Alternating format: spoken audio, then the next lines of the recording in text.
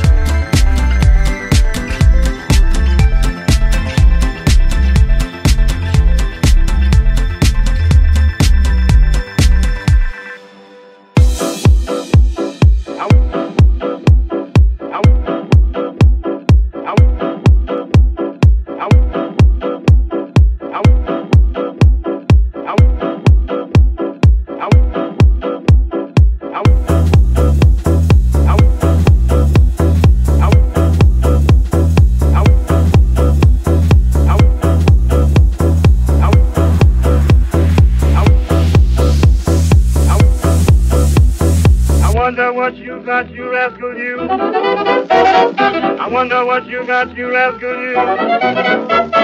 They wonder what you got, makes my wife think you so hot. And I wonder what you got, you rascal, you.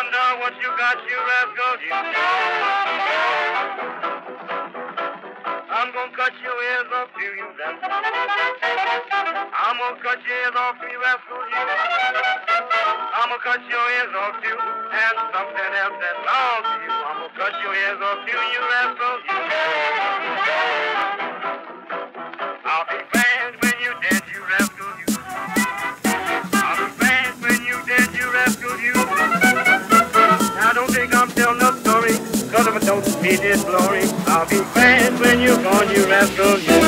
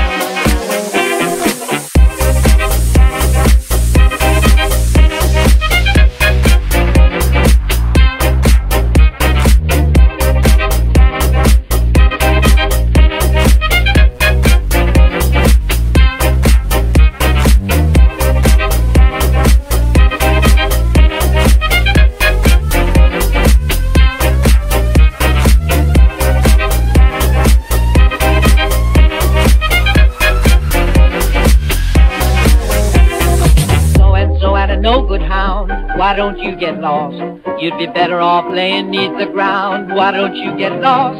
Or you messed around with my baby. I won't stand for being double crossed. Take a fool's advice. I done told you twice. Why don't you get lost?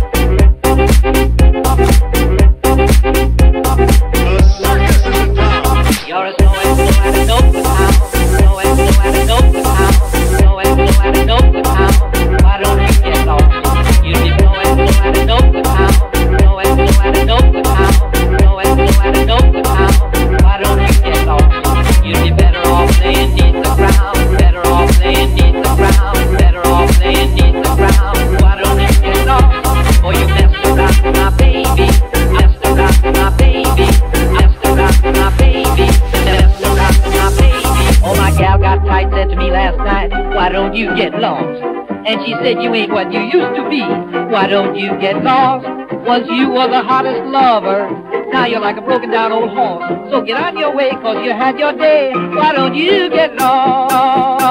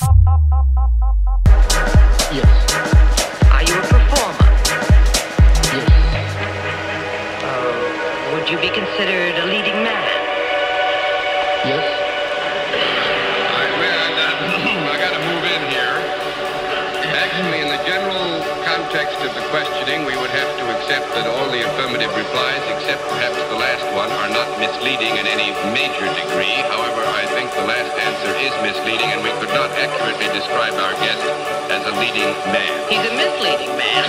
misleading man, he is.